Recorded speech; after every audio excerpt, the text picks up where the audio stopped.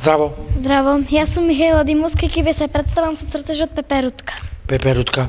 Ова каква е пеперутка, питома или дива? Питома. Одлично. Колку време ти требаше да ја нацрташ? Па, пет минути. Кој друго животно го сакаш освен пеперутка?